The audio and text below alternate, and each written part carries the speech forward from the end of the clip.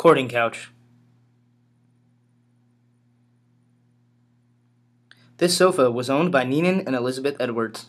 They likely purchased it from a local cabinet maker after moving to Springfield in 1835. This horsehair upholstered mahogany late classical revival sofa was in the Edwards parlor when young Mary Todd lived with them prior to her marriage. It was a silent witness to Mary's courtship and wedding to Abraham Lincoln and is now known as the courting couch.